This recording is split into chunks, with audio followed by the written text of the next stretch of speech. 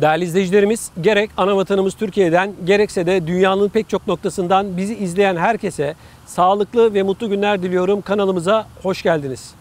Değerli izleyicilerimiz, dünyada kadın olmak hayata 5-0 geriden başlamak anlamına geliyor. Geri kalmış ülkelerde bu rakam 10-0 geriden başlamak anlamına geliyor.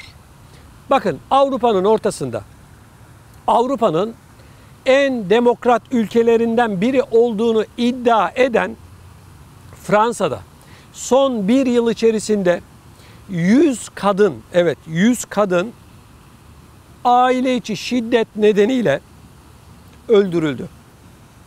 Evet 100 kadın. Korkunç bir rakam. Fransa'da bir yıl içerisinde bu kadar kadın öldürülüyorsa dünyanın değişik noktalarındaki kadınların halini siz düşünün. Başkent Paris'te bu protesto edildi. Kadınlar yürüdüler ve artık kadın cinayetlerine son dediler. Kıymetli izleyicilerimiz bizim toplumumuza gelecek olursak kadınlar ister kabul edin ister kabul etmeyin her zaman erkeklerin arkasında kalmıştır. Bu bir gerçek. Okumuşu da, okumamışı da, köylüsü de, şehirlisi de maalesef genel olarak herkes için aynı şeyi söylemiyorum ama genel olarak bu bakış açısına sahip kadın her zaman ikinci planda bırakılmıştır. Yazılı olmayan kurallara, örf ve adetlerimize göre böyle örf adet de olmaz ama maalesef böyle bir gerçek var arkadaşlar. Fransa'da son bir yıl içerisinde 100 kadın öldürüldüyse Türkiye'de emin olun ki bin kadın öldürülmüştür. Çeşitli nedenlerle bunlar kadın cinayeti ya da başka nedenler adı altında kayıtlara geçmiştir ya da geçmemiştir. Arkadaşlar kadın evleniyor dayak yiyor. Bir ailede diyelim ki iki tane kız kardeş var, iki tane de erkek kardeş var. Pek çok ailede kız çocukları ikinci sınıf muamelesi görmüştür, görmeye devam ediyor. İster bunu kabul edin, ister etmeyin. Bak bunların hepsi gerçek. Siz bana katılmıyorsanız videonun altına yazarsınız. Bu anlattıklarım da her aile için, herkes için genel, herkes için geçerli değil. Ben genel bir yorum yapıyorum. Fransa'da bugün böyle bir gösteri yapılıyorsa bizim toplumumuzda kadınlarımız maalesef acınacak haldedir. Ya arkadaş, kadın fiziksel olarak erkeklerden daha zayıf olabilir. Allah böyle yaratmış. Bu kadınların bir eksiği anlamına gelmiyor. Bu kadınların zekalarının erkeklerden daha geri olduğu anlamına da gelmiyor. Ama haktan, hukuktan konuşurken mangalda kül bırakmayan bizler, bizim toplumumuz anne olan, kız kardeş olan hayatımızdaki en değerli varlıklarımıza neden biz kötü muamele yapıyoruz? Neden ikinci sınıf insan gibi davranıyoruz? Hiç düşündünüz mü? Bakın, hayatımızdaki en değerli varlıklarımız kimlerdir? Eşlerimiz, çocuklarımız, annelerimiz. Değil mi? Mesela anneden örnek verelim. Anne bak. Başka bir şey anlatmaya gerek yok. Anne. Bu anne kelimesinin altını dolduramayız. Anlatamayız. Kelimeler yetmez. Bakın. Annemizin rahmine düştüğümüzde, annemizin karnında oluşmaya başladığımızda bizi 9 ay boyunca karnında taşıyor, doğuruyor, yatmıyor, uyumuyor, gözünden bile sakınarak bizi büyütüyor. Varlık içerisinde, yokluk içerisinde. Gözünden bile sakınıyor. Değil mi? Kadın, anne, anlatamıyorum bile. O kadar çok değerli ki. Ve biz bu kadınlara kötü davranıyoruz. Ve biz bu kadınlara şiddet uyguluyoruz değil mi? Toplumumuzda çok görüyoruz. Yarın öbürsü gün arkadaşlar Öyle bir noktaya geliyor ki bu şiddet uygulayanlar anne, kız kardeş, kadın, eş bunları öldürüyorlar. Ne kadar hani aslında şöyle daha basit bir ifadeyle ben bunu anlatmaya kelimeler, cümleler bulamıyorum. Bak anne. Görüyoruz. Karısını öldürenler, dövenler, komalık edenler, kız kardeşini vuranlar, kıranlar, annesine şiddet uygulayanlar. Siz nasıl insanlarsınız ya? Ben size insan falan demiyorum. Bak anlattım sadece annenin kıymetini hatırlayalım diye. Elbette ki hepimiz annemizin kıymetini biliyoruz. Ayrı bir şey. Allah şu anda sağlığı olan, hayatta olan tüm annelere, babalara sağlık, sıhhat versin. Onların acı günlerini Allah bizlere göstermesin. Allah tırnaklarına taş değdirmesin. Değil mi? Ama birileri kalkıp onlara, eşlerine, kız kardeşlerine zulüm ediyorlar. Bir de bizim toplumumuzda çok çok beni üzen bir olay var. Bir laf var bizde biliyor musunuz? Kız çocukları evlendiği zaman, gelinliklerini giydiği zaman derler ki gelinliğinle bu evden çıkıyorsun, kefeninle bu eve dönebilirsin. Ne kadar yanlış, ne kadar ayıp, ne kadar alçakça bir laf. İnsanlar yanlış bir evlilik yapıyor olabilir. Yanlış birini seviyor olabilir. Yanlış biriyle aynı nikah altında kalabilir. Kim hata yapmıyor? Ama siz kendi evlatlarınıza, kendi kız kardeşlerine sahip çıkmayarak diyorsunuz ki bu evden gelinliğinle çıkarsın, kefeninle geri dönersin. Böyle bir şey yok. Çok yanlış bir cümle. Her zaman kız kardeşlerimize, her zaman kız çocuklarımıza biz yanlış bir karar alsa da sahip çıkmak zorundayız. Gidiyor bu kız kardeşler, bu kız çocukları kocasından şiddet görüyor, dayak yiyor ama sen sahip çıkmıyorsun. Gidecek kapısı yok. Nereye gidecek? Evet kocaları da diyor ki nasıl olsa buna sahip çıkan yok. Ben dövüyorum, ses çıkaran yok. Daha çok dövüyor, daha çok şiddet uyguluyor. Arkadaşlar bu ve benzeri düşünceleri artık bir kenara bırakın. Bu dakikadan sonra başta anneleriniz olmak üzere kız kardeşlerinize lütfen sahip çıkın. Eğer şu anda sağlığı yerinde olan varsa yani yaşıyorsa bu hayattaysa hemen annelerinizi arayın. Hemen kız kardeşlerinizi arayın, hatırınızı sorun. Aranızda bir problem olsa dahi artık bu küslükleri bir kenara bırakma zamanıdır. Şimdi herkesin birbirini araması, hatırını sorma zamanıdır. Üç günlük dünyada yarın, öbürsü gün olmayacağız. Hadi şimdi arkadaşlar telefonlarınızı elinize alın, arayın. Sesini duyun. Üç günlük dünyada birbirimize küs kalmayalım. Hatalar olabilir. Affetmek de herkesin şanındandır, büyüklen, büyüklüğündendir deyip şimdi gönül alma zamanıdır. Hadi arkadaşlar. Neyi düşünüyorsunuz? Üç günlük dünya. Neye küsüyorsunuz? Kime küsüyorsunuz? Ananıza mı küsüyorsunuz? Kız kardeşinize mi küsüyorsunuz? Değer mi? Şimdi hemen herkes arıyor. Şimdi geldik güzel bir konuya. Eğer yurt dışında yaşıyorsanız ve Türkiye'de emekli olmak istiyorsanız, Türkiye'de emekli maaşı almak istiyorsanız şimdi anlatacaklarımı lütfen sonuna kadar dikkatli bir şekilde takip ediniz. Çifte vatandaşlar, mavi kartlılar, pembe kartlılar ya da sadece Türkiye Cumhuriyeti vatandaşı olanlar. 40 yılda bir ayağınıza gelen çok büyük bir fırsat var. Ben bu fırsatı daha önce anlattım. Beni takip edenler biliyor ve bunların pek çoğu şu anda Türkiye'de emekli maaşı almaya başladı. Arkadaşlar 2019 yılında bir yasa çıkartıldı. Dendi ki bu yasaya göre emeklilik şartlarını değiştiriyoruz. Yani yurt dışında yaşayanlar için.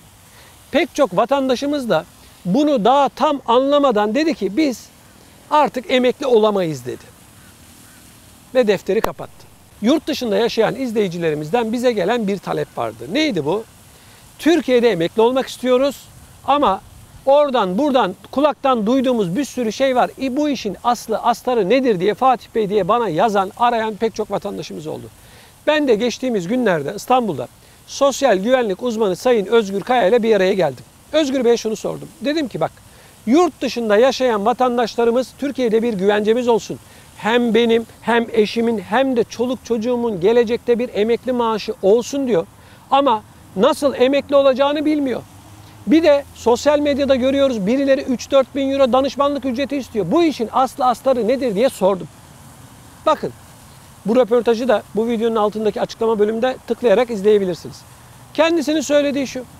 3 bin euro vererek devlete ödeyerek emekli olan da var. 5 bin vererek de emekli olan da var. 10 binde, 15'te, 20'de, 25'te.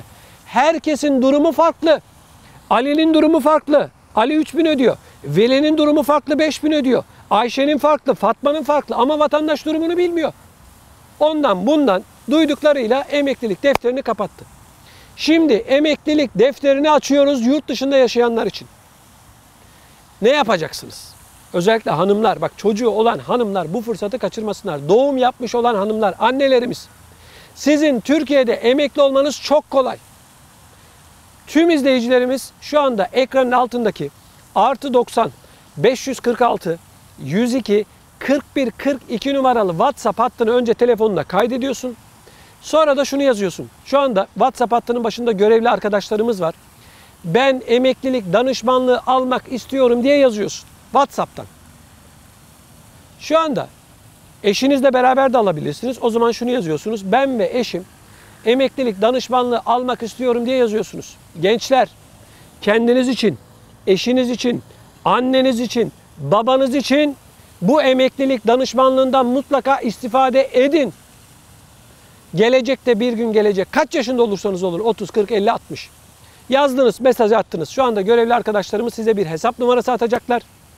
Sadece 120 euroya bakın. Sadece 120 euroya. Siz danışmanlığınızı alacaksınız. Sosyal güvenlik uzmanı Sayın Özgür Kaya sizin adınıza devlete, SGK'ya tüm dilekçelerinizi verecek.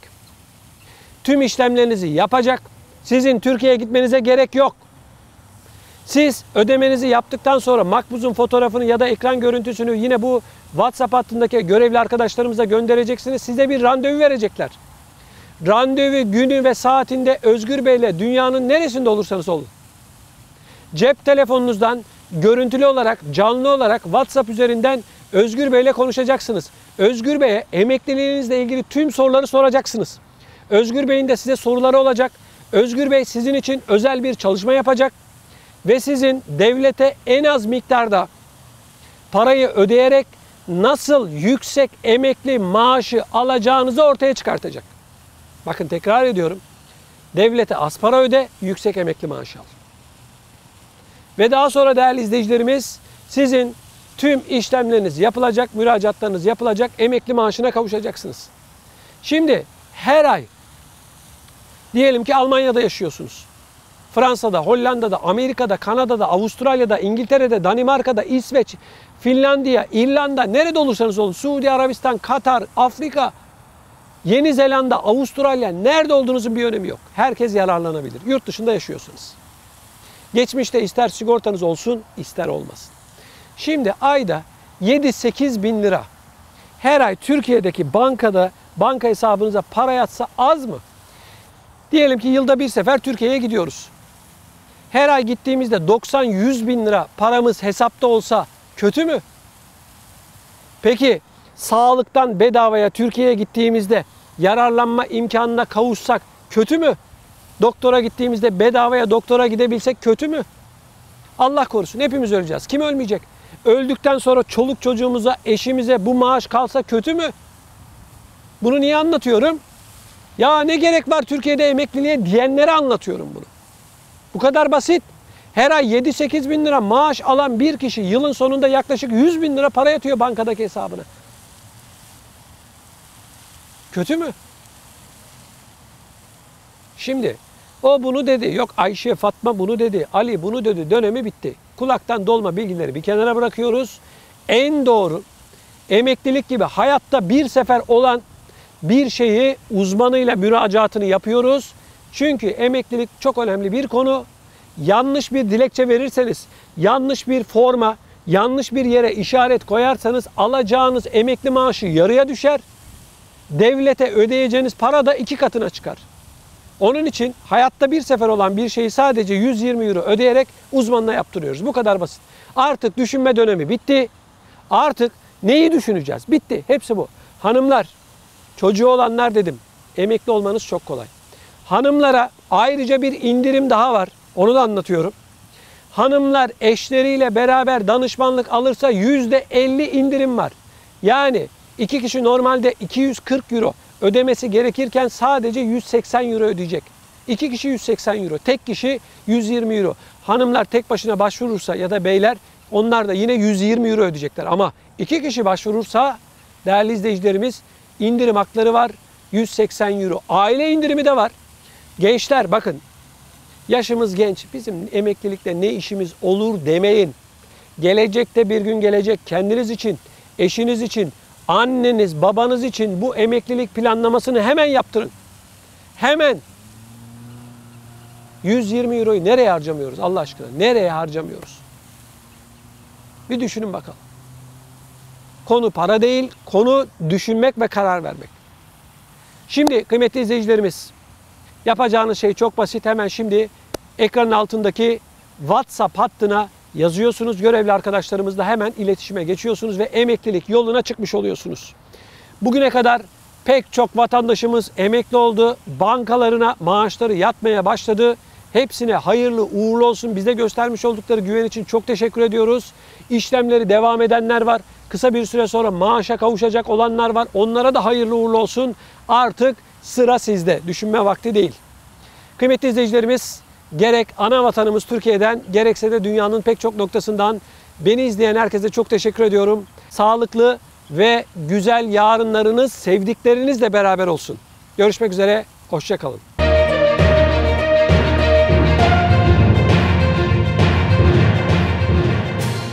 Şimdi geldik güzel bir konuya. Eğer yurt dışında yaşıyorsanız ve Türkiye'de emekli olmak istiyorsanız, Türkiye'de emekli maaşı almak istiyorsanız şimdi anlatacaklarımı lütfen sonuna kadar dikkatli bir şekilde takip ediniz. Çifte vatandaşlar, mavi kartlılar, pembe kartlılar ya da sadece Türkiye Cumhuriyeti vatandaşı olanlar. 40 yılda bir ayağınıza gelen çok büyük bir fırsat var. Ben bu fırsatı daha önce anlattım. Beni takip edenler biliyor ve bunların pek çoğu şu anda Türkiye'de emekli maaşı almaya başladı. Arkadaşlar 2019 yılında bir yasa çıkartıldı. Dendi ki bu yasaya göre emeklilik şartlarını değiştiriyoruz. Yani yurt dışında yaşayanlar için. Pek çok vatandaşımız da bunu daha tam anlamadan dedi ki biz artık emekli olamayız dedi. Ve defteri kapattı. Yurt dışında yaşayan izleyicilerimizden bize gelen bir talep vardı. Neydi bu? Türkiye'de emekli olmak istiyoruz ama oradan buradan kulaktan duyduğumuz bir sürü şey var. E bu işin aslı astarı nedir diye Fatih Bey diye bana yazan, arayan pek çok vatandaşımız oldu. Ben de geçtiğimiz günlerde İstanbul'da sosyal güvenlik uzmanı Sayın Özgür Kaya ile bir araya geldim. Özgür Bey'e şunu sordum. Dedim ki bak yurt dışında yaşayan vatandaşlarımız Türkiye'de bir güvencemiz olsun. Hem benim hem eşimin hem de çoluk çocuğumun gelecekte bir emekli maaşı olsun diyor. Ama nasıl emekli olacağını bilmiyor. Bir de sosyal medyada görüyoruz birileri 3-4 bin euro danışmanlık ücreti istiyor. Bu işin aslı astarı nedir diye sordum. Bakın bu röportajı da bu videonun altındaki açıklama bölümünde tıklayarak izleyebilirsiniz. Kendisinin söylediği şu. 3 bin euro vererek devlete ödeyerek emekli olan da var. 5 bin vererek de emekli olan da var. 10 binde, 15'te, 20'de, 25'te. Herkesin durumu farklı. Ali'nin durumu farklı. Ali 3 bin ödüyor. Veli'nin durumu farklı 5 bin ödüyor. Ayşe'nin farklı, Fatma'nın farklı ama vatandaş durumunu bilmiyor. Ondan bundan duyduklarıyla emeklilik defterini kapattı. Şimdi emeklilik defterini açıyoruz yurt dışında yaşayanlar için. Ne yapacaksınız? Özellikle hanımlar, bak çocuğu olan hanımlar bu fırsatı kaçırmasınlar. Doğum yapmış olan hanımlar, annelerimiz. Sizin Türkiye'de emekli olmanız çok kolay. Tüm izleyicilerimiz şu anda ekranın altındaki artı 90 546 102 41 42 numaralı WhatsApp hattını önce telefonunda kaydediyorsun. Sonra da şunu yazıyorsun. Şu anda WhatsApp hattının başında görevli arkadaşlarımız var. Ben emeklilik danışmanlığı almak istiyorum diye yazıyorsun WhatsApp'tan. Şu anda Eşinizle beraber de alabilirsiniz. O zaman şunu yazıyorsunuz. Ben ve eşim emeklilik danışmanlığı almak istiyorum diye yazıyorsunuz. Gençler kendiniz için, eşiniz için, anneniz için, babanız için bu emeklilik danışmanlığından mutlaka istifade edin.